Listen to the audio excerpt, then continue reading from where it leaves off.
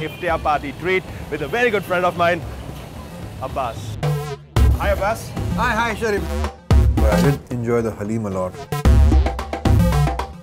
You have to take it up and look me.